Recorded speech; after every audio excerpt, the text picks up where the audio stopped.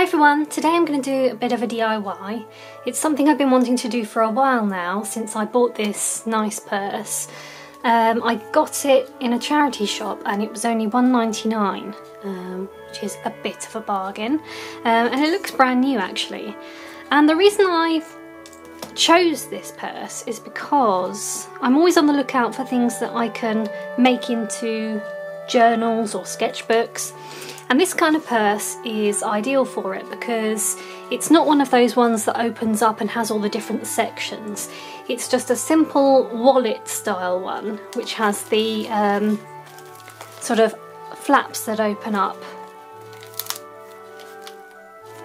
where you put like your notes um, and then you've got your card um, sections and it also has a zip section as well so as soon as I saw this, it says Faye London, as soon as I saw this I thought this one would make an ideal um, journal. So that's what I'm going to do today. Um, so first of all I'll take this tag off I'm going to keep things as simple as I can with this DIY. Um, there is another video that I've got of mine um, where I give ideas for no sew, no glue and no staple sketchbooks, so do check that out um, to get more ideas as to how to make the book itself. Um, but of course you can use anything you want. You can use art paper to make a sketchbook or you can use smooth normal paper to make a journal. Whatever you want to make just, you know, go with what you want. So the items I'm going to be using today in this DIY are a cutting mat and knives. Um, the paper I'm going to use in this, um, I think I'm going to make a journal. The paper I'm going to use in this journal is a cream paper and for the cover you can, you can use any card that you like but I've um, got a few um, nice pieces of uh, square cardstock with some nice sort of travel themed designs on. Um, so I'm going to choose from one of these, or I could of course make two books so that I've either got a spare or I could put both of them in there. But um, so that's going to be my cover. Um, I've also got something to make um, the binding holes with. So I've got a, a, a safe, um, not a safety pin, I've got a, um, a pin for a cork board here. Um, now this is good for making a hole but in order to get the um, elastic or thread or whatever you're going to use um, through the hole you are going to need to make the hole bigger. Um, now of course normally I use an awl um, to make my holes. Um, and it's actually it starts off thin and then it gets thicker as it goes. So you're able to push this all the way through and make a big hole. So I will be using this but if you're um, using the safety pin you might have to make a few holes in order to make a bigger hole. Um, and to bind the book together I'm going to use some um, hair bands, some hair elastics um, I don't really tie my hair up much, so when I find nice um, coloured hairbands in the shops, I buy them and I keep them for crafts. So I'm going to um, use one of these for the binding. And I might need a hair clip as well to help me pull this elastic through the hole. So let's get started. So I think I'm going to use this one as my first cover. Um, so of course I will need to cut my cream paper to the same size so that when we fold it all into a book it's all going to fit together. Um, I should also mention that do you should check that your chosen card will fit into the purse. Um, as this is quite a small square it fits in very nicely and then you can imagine when it's folded over it will make a book like so. But if you have a bigger piece of paper or card for example, this is an A4 piece of paper, um, and of course, if you try to slip that in, it's going to be too big. So you will have to trim down to whatever size you would like to make your book.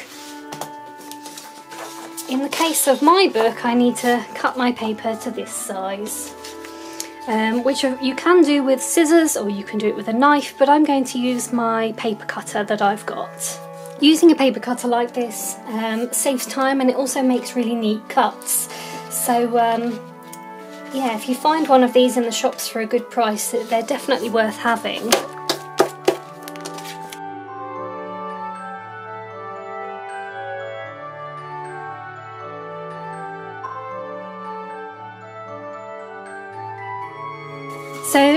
I've got my sheets of cream card, uh, sorry, cream paper cut to size, I'm going to fold all of the pieces.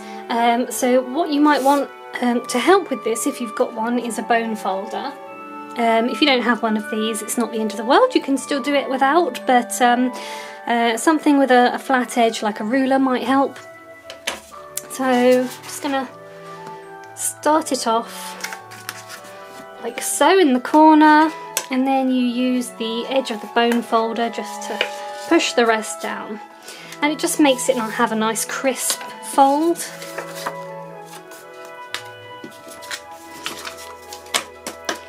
Now I'm not going to worry too much about being precise with the paper because we can trim the sides afterwards. So I'm just going to fold them all at the same time.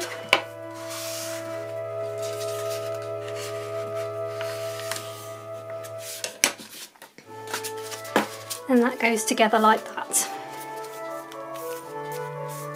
So before we trim the sides to be all neat, we want to bind it together. And so this is where we need to punch our holes. Now I'm not too fussed about having them, you know, precisely um, positioned. I'm not going to use a ruler. Um, so I'm just going to choose where I put them. I'm going to eyeball it basically. So I think I'm going to put one there one there. Now, being careful not to move it too much, I'm just holding it together so that I can push all the way through and I do a circular motion as well because I just want to make sure the hole is big enough for my elastic to go through. So making sure it's all lined up, I'm just going to do the same to the other one. So I'm just doing a bit of a circular motion, pushing it through, making sure the hole is going to be big enough. So next up we need to get our elastic. Now what I recommend doing with the elastic is um, cut it on one side of the metal bit and this way we can use this metal bit to push through um, the hole. Um, if you don't have a piece of elastic with metal on it, so if you're not using a, a hairband, you can use one of these hair clips to help you pull it through. So what you do is you just put the elastic onto the hairpin like so and then you push the hairpin through and as you pull it through it pulls your elastic through for you. Um, but hopefully I should be able to do it just with this elastic.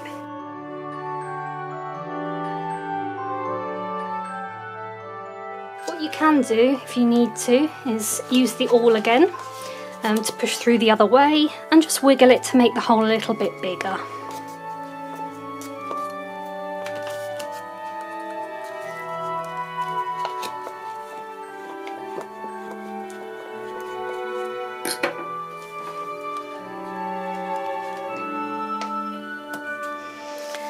There we go, so I've got it through one side. Be careful not to pull it all the way through. In fact, this is the moment where you can take a second to just make a knot.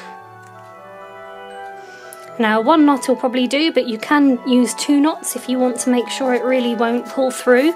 But um, as you can see, it's not going to come through now. And then push through the other side and make yourself another knot. Now you do want to make sure that this next knot sort of goes quite tight so that you've got a nice secure binding. And then you can just trim the ends off if you like.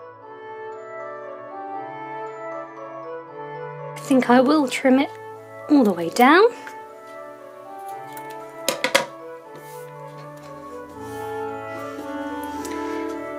There we have a little bound book.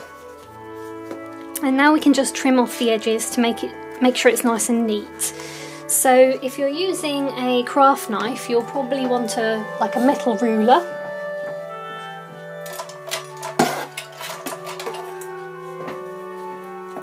Because if you use a plastic ruler, you'll probably end up cutting the plastic. So all we want to do is line up to the edge of the cover. And then we want to gently in a straight line keep going across until you've trimmed all the pieces. And then you end up with a nice flat edge. I'm going to trim the top and the bottom as well because my paper is coming out a little bit too far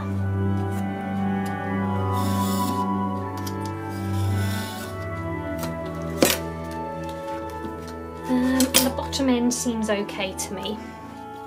So let's just get rid of this rubbish. And now if we bring my purse back in, I can slot it in. So you can choose, you know, which which bit that you use. If I use the back bit, then I can still use this pocket. Um, and there we go. So I've just got a cute little journal now inside this purse. And the handy thing with there being a zip compartment is that you can put some pens and pencils in there. Depending on the size of your purse, um, you might not fit, you know, full length ones in, but I've got these cute little gold, it's a gold pen and a propelling pencil, and this was a, just a little cheap set that I got from Tiger and I think that looks, you know, really smart with it. So I'm going to put those in there. Either you can put the stuff in the pocket there, or you could tuck it in here so that you can see them. And because it's a purse which is designed obviously to hold lots of money or cards or what have you, you've got that room to, to fit this stuff in there. So yeah, next time you're out and about um, shopping and you see a purse or a wallet like this, um, think about what else it can be used for. You don't have to use it as a purse, you can make your own personalised journal um, or sketchbook or anything you like. So um, I hope you found this inspiring and I'll see you next time.